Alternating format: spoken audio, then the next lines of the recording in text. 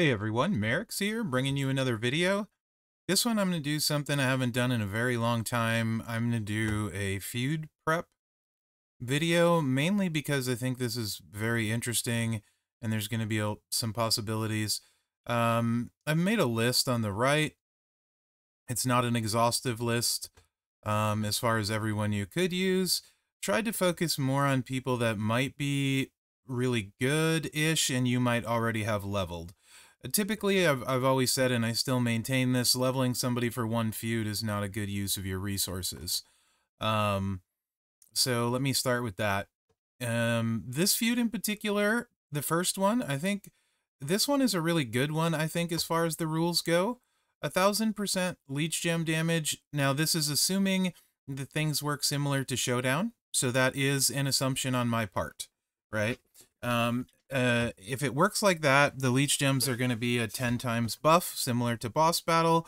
Um, so you're basically looking at essentially one leech gem is the equivalent of a times 10 multiply gem. That makes it a lot more interesting. Trap gems times 5, botch gems times 5. Also assuming it works like boss and it'll work on finishers and stuff that do damage per, you can use those too. Again, this is not exhaustive. Um, I'm not going to get everybody. This is just to give you some ideas, hopefully help. Uh, in between uh, flash feuds, there's not a lot of time always to get ready. Um, have some of the recommended move sets there. We're going to go through this pretty quick. No gameplay. Um, just talk about some things, right? I think one thing that's important to note this first one is no skill plates. You can still have them equipped, they just won't do anything. So if you're if you have people that were relying on a skill plate to win um, easily, let's say like uh, my Rex Regum, um, triple red, without the Piper plate, he's not going to hit hard triple red. So that's not he he would come out of my roster with that build set unless there's another viable one for him, right? Um, that's just one example. So that's something you need to be aware of. I can't, I can't go over everyone that would be affected by no skill plate and I'm not going to try. That's on you for your roster, but the Leech Gem boost in particular, I think is going to be a lot of fun with maybe people you've already worked on. And one thing I, I saw a lot is like, this sucks because I'm not going to be able to use the skill plate I paid for. That's true for this particular Flash feud that there's one of. However, you can use people that you did pay for and did build that you had shelved. Um, perfect example of that and I'm on the CC account. This isn't my account. This filter in between is actually pretty good. It gets most of the ones.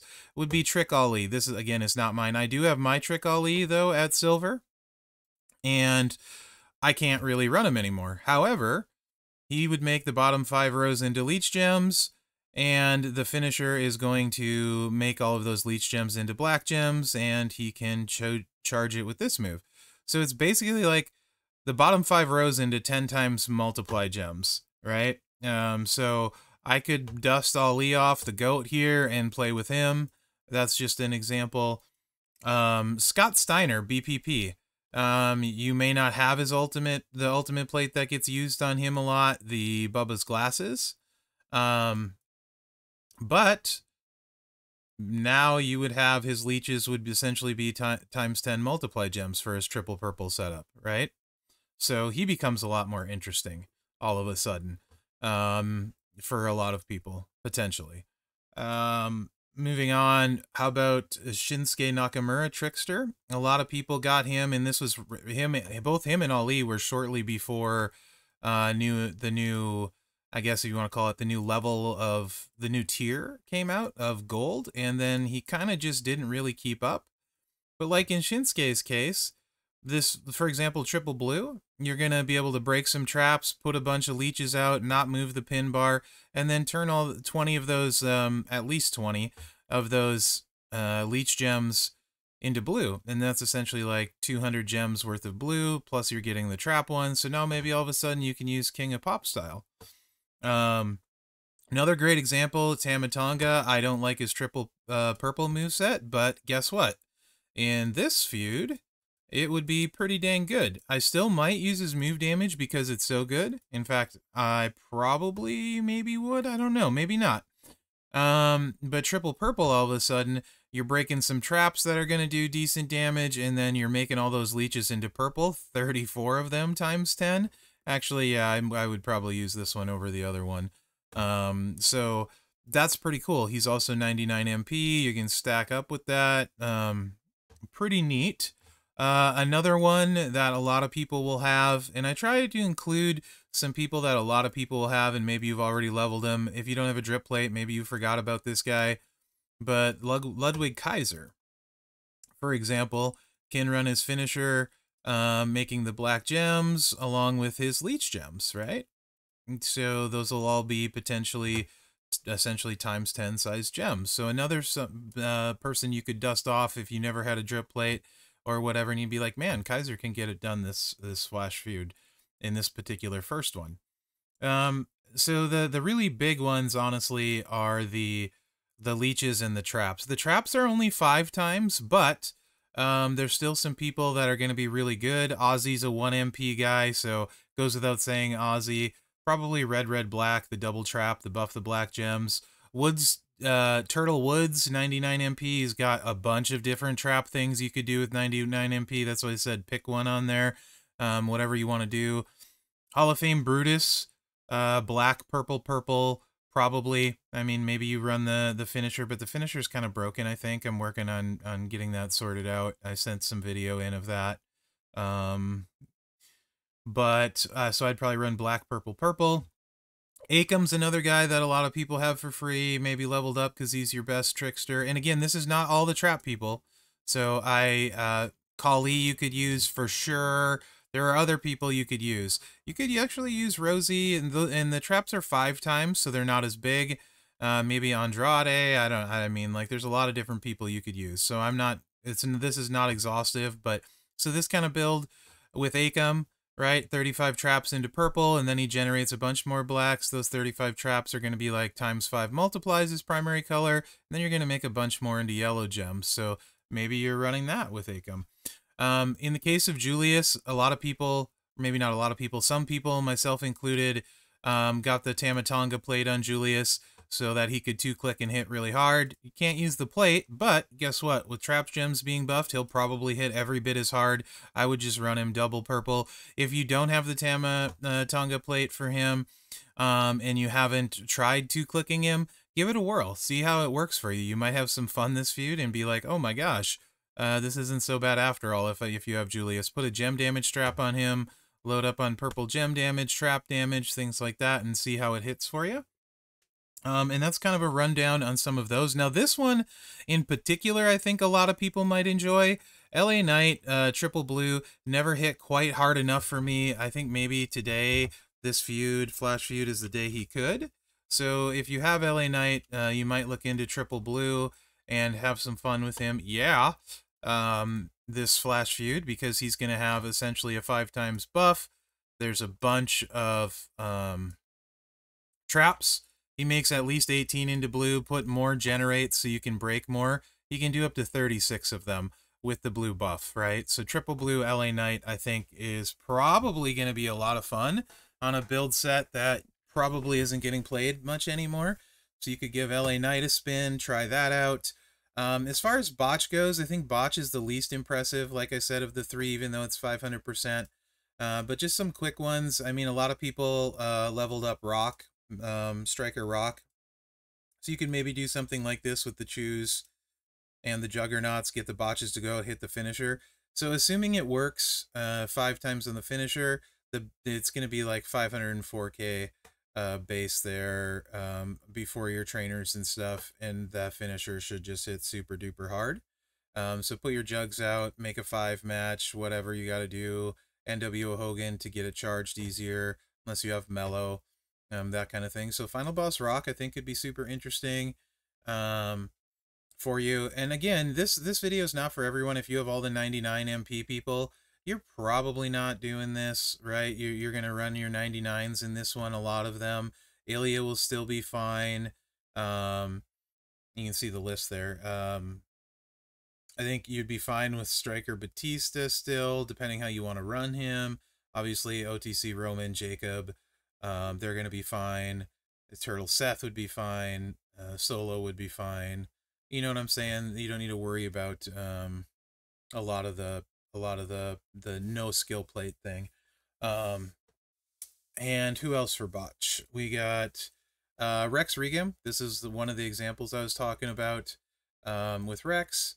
And you can see the filter actually works really well. There's a ton of botch guys you could use. That's why I'm not going to cover everyone because uh, it would take forever.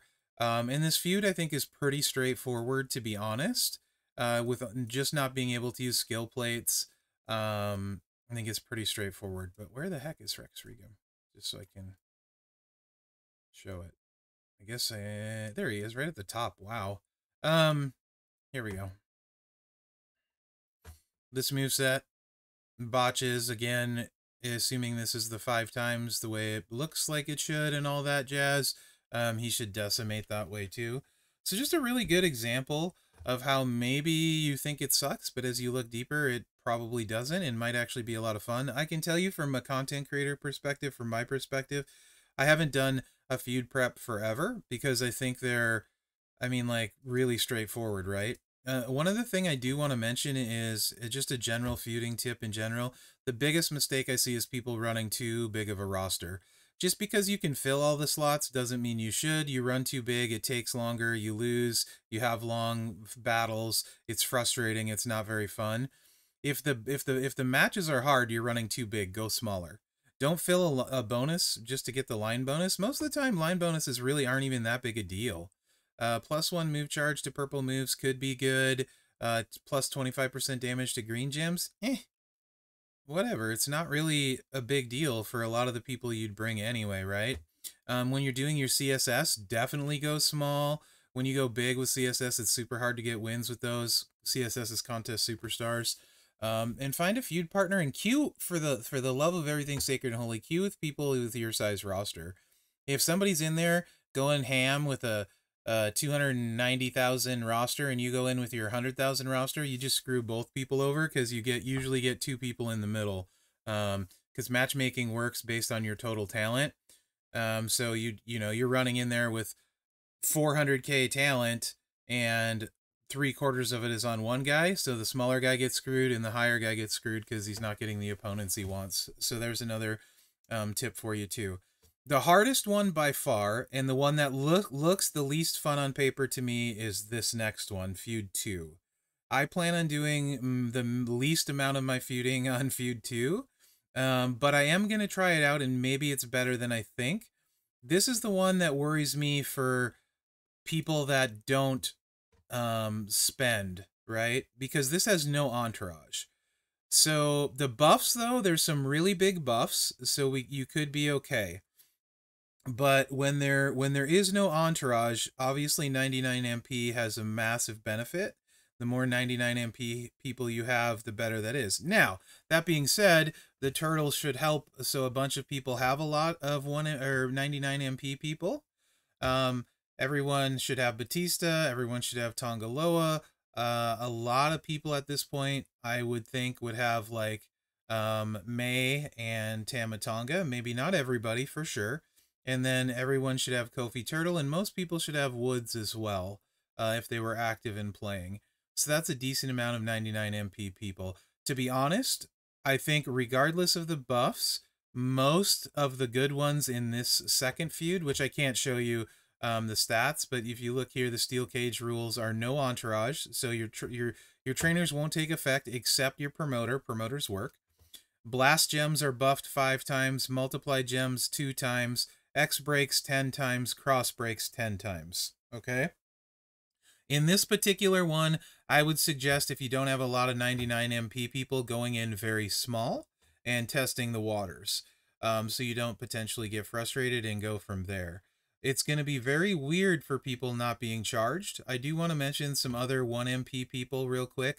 Uh, besides the 99 MPs, Ozzy would be your friend in this one. Everyone has Ozzy if they just logged in, basically.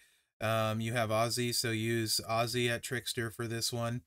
Also, um, maybe HBK like tricolor, so it recycles is an option for some people. That's Acro HBK, uh, so he can like make and break blues. I don't think without an entourage he's gonna be super amazing, but I'm throwing one MP people out there.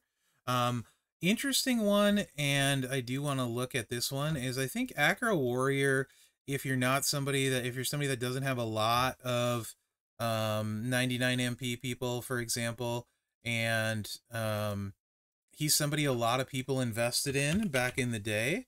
I think why can I not where's the search button? There's no search button in the filters here. Interesting.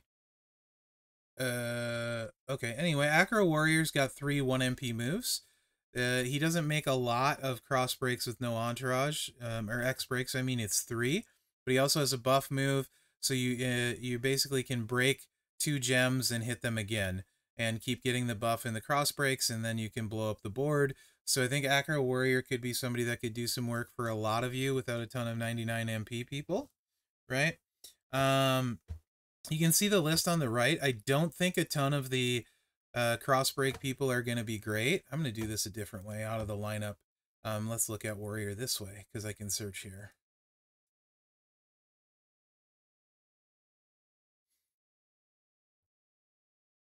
So like these three moves for Warrior, right? And let me just look at HBK quick. I don't, because the 1 MPs I think will be important. I think it's under Shawn.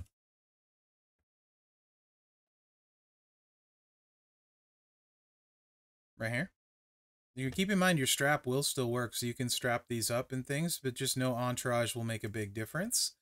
Um, so that was HBK. Uh, Ozzy, you guys should know by now. Um, and then is there any other one MPs that I thought of right off? No. So the other thing that's going to be really big on this one, if you don't have 99 MP people, make sure you avoid 99 MP people when you don't have 99 MP people, right? So or or if you're going against somebody with a sub, let's say like a lot of the turtles, use the sub reduction trainers. Oh, no, those won't work. It's no entourage. Derp. Don't use those. Um, you're just gonna have a hard time against 99 MP people, right? But like somebody like Batista, even though it's not buffed, you could run his power gem set. Um, if the multiply isn't working for you, if you don't have a big uh, strap, these are going to do really good work um, all alone by themselves. So keep that in mind. Generally, the a lot of the stuff that uh, I don't like for feuds can potentially be good this feud. Subs, power gems, um, and the like, right? Um, the trainers won't work to get matchy match, so there's no matchy match either. So the lower the charge, the better. Um, somebody like uh that has like four one to four MP moves, so on a swipe you load them will be great. Otherwise, you're going to have a hard time. Now, that being said, if you happen to have Jacob Fatu, although if you have Jacob Fatu, you probably have most of the 99 MP people, plus three on a match middle lane. I personally think this should have been on the bottom lane um, for plus three on a matchy match. And the ones the, and just stayed with the static one MP in the middle lane. Um, because people with Jacob Fatu are mostly going to have 99 MP people. So I think that's a little bit of a miss there for future ones, right? Um, again, you could use like Rick Steiner, but it's a little bit harder to get loaded, but he could stun lock when he gets there. Sheamus, MOD Taker, Hall of Fame Ray, X Breaks, Powerhouse Rezar, Ridge has a decent build set, Angle, um, weirdly enough, um, has the the revamped one, so he might be able to do some work. If for some reason you have him high again, don't level people for this. It's more just kind of entertaining to me that um, Angle can make um, 29 random gems into X breaks and then destroy 29. Um, and then he's got a gem debuff potentially. So uh, also uh, braid plate and and um, Veer would work on him. Speaking of Veer, could work for that. There's just a ton I didn't list. It DDP, I think, is actually not on the list, but probably worth talking about just because he's got a one MP move. Um, Diamond Dallas Page tech. He was also reworked.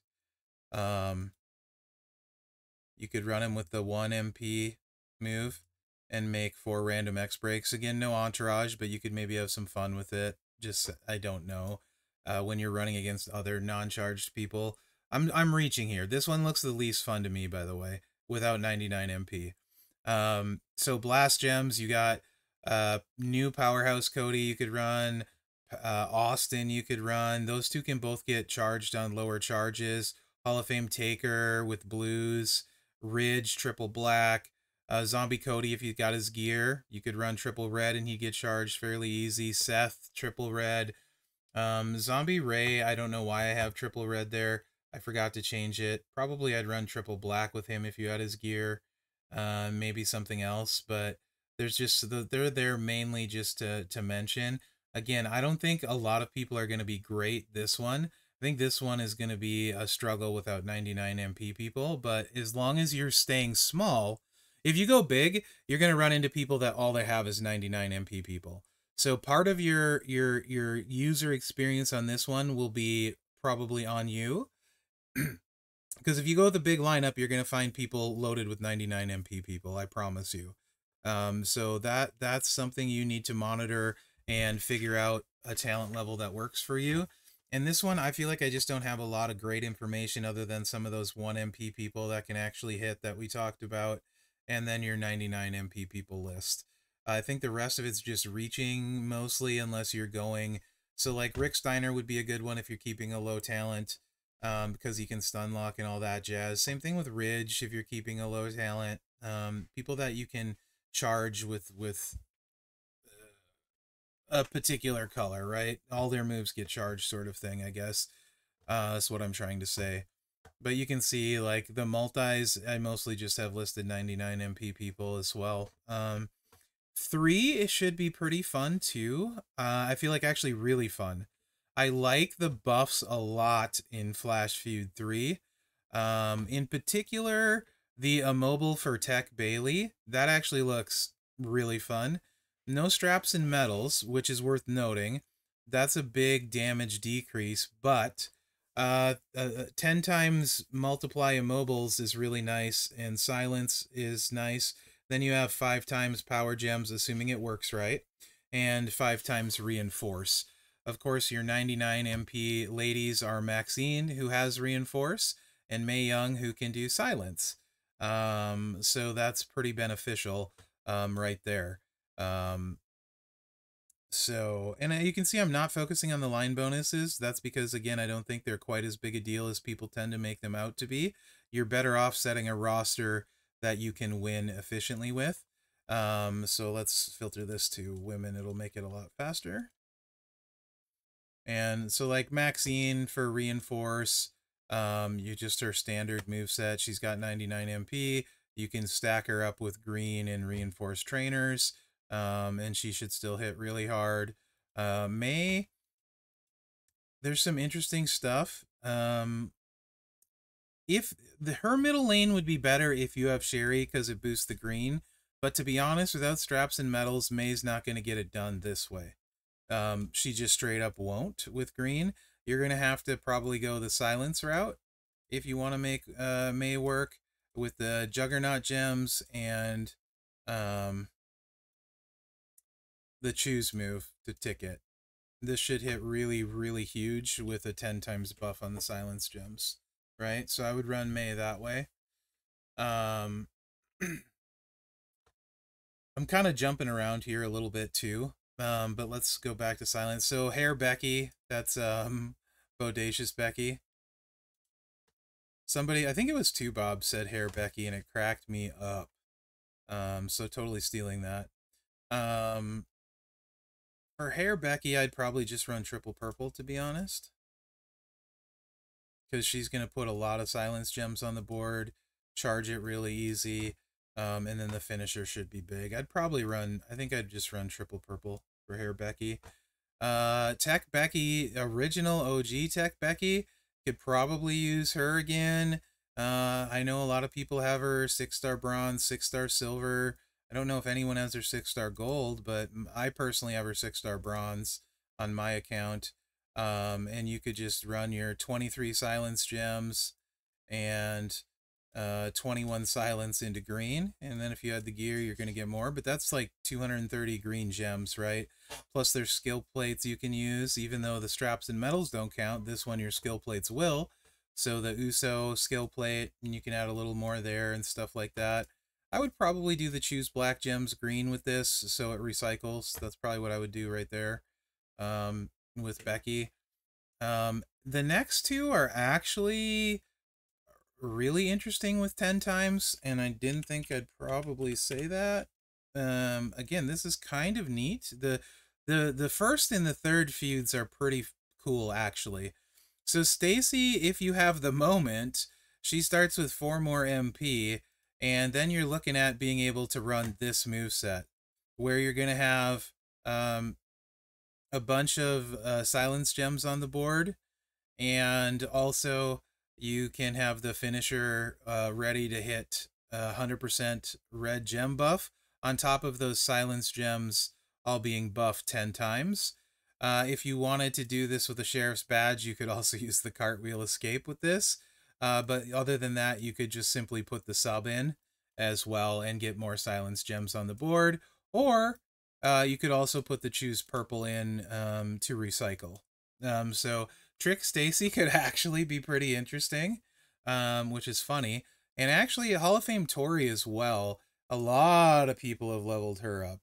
Um, and this one, especially if you have one gear or the right uh, trainers to run it, um, could be pretty interesting. Um, you could literally just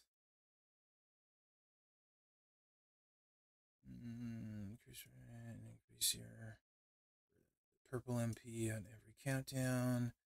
You could run triple purple if you wanted. That's probably what I would run.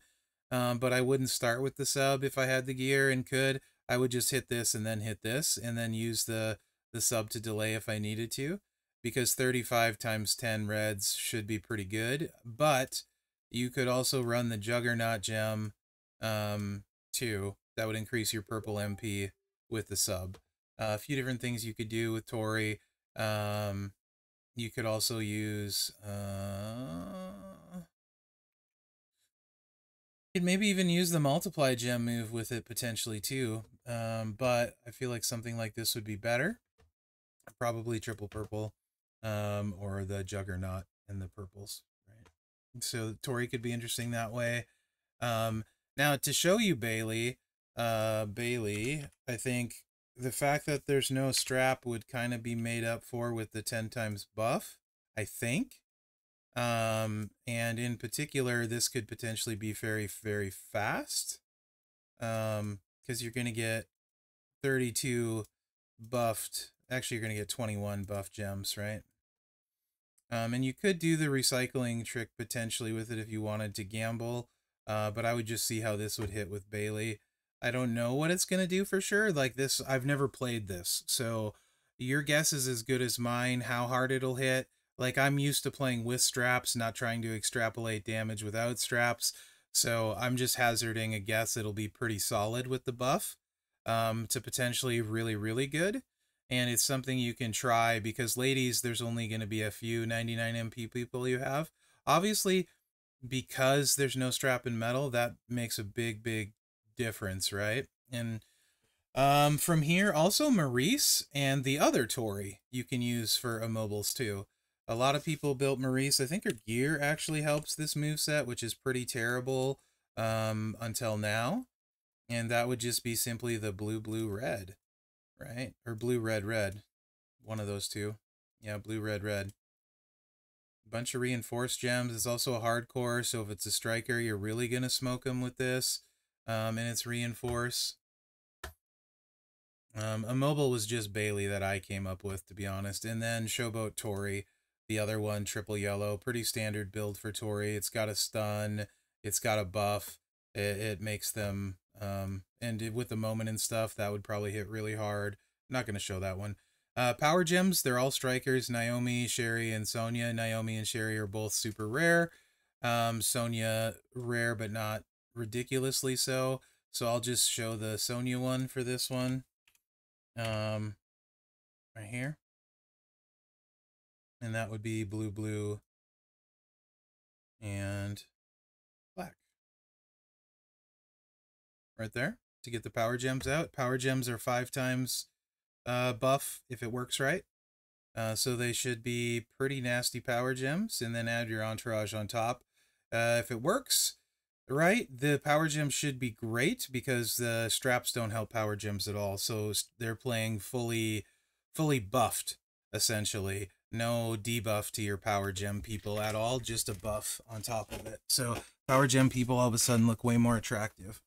So yeah, I think this feud looks like it could be pretty interesting too. And to wrap this up pretty quickly, the fourth flash feud is just normal rules, so I don't think I'm going to really go into it. Um, you can see the info right here if you didn't know, but that's the info and just regular rules, no steel cage rules. So that's kind of my feud breakdown for steel cage. Um, I'm super curious about feedback. Like I said, it's been forever since I bothered doing these because I think most of the choices are too straightforward. I think your big things, guys, are uh, not running too big a lineup that you can handle, especially if you don't have a lot of 99 MP. Focusing on the the people you do have that can take advantage of some of the some of the buffs uh, quite nicely. And other than that, um, go into it with an open mind because uh, I think that'll make it a lot easier for you. If you go into it hating it, you're gonna hate it, right? Um, if you play it and you hate it, that's fine. Um, nothing you can do about that. If you don't like it, you don't like it. Um, but I would say keep an open mind and give it a try. I do know that I love the idea that I'm going to be able to use some people that I had basically canned as I'll never use that character again. Right. So I, I do find that super cool. And I think there's a lot of potential here. Um, and if we as like a community can work with Scopely and get it uh, tuned to where it's just they're fun and it's pretty balanced for all level of players, uh, I think that could be really cool. So yeah, let me know what you think in the comments. Remember to like, subscribe, and share. Uh, this took a lot of time to get ready, so I hope it's worth it, and I hope you like it. Other than that, guys, have fun this weekend. Good luck out there, and thanks for watching. Yeah, it's kind of weird to do this again. I think I like it, though.